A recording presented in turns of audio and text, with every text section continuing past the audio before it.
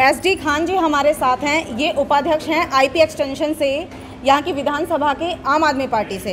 S D Khan जी, क्या कर रहे हैं आप? डोनेशन कैंप की आप ज़िक्र कर रहे थे, क्या अपील करेंगे आप जनता से?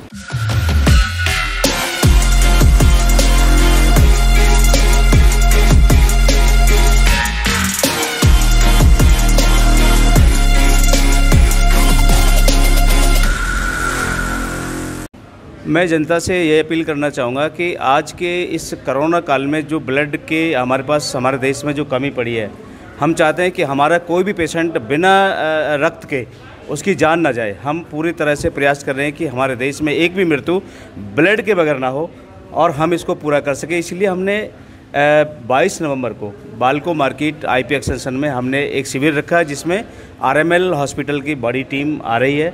और मैं चाहूँगा कि ज़्यादा से ज़्यादा लोग इसमें अवेयरनेस हों जागरूक हों कि ब्लड देने से अपनी बॉडी को भी नुकसान नहीं होता बल्कि उसका फ़ायदा होता है और दूसरों लोगों को भी उसका फ़ायदा पहुँचता है। सर क्या समय रखा है बाईस तारीख को? बाईस तारीख को समय सर हमने रखा है साढ़े नौ बजे से शाम को चार बजे तक। यही अपील है कि सभी आएँ?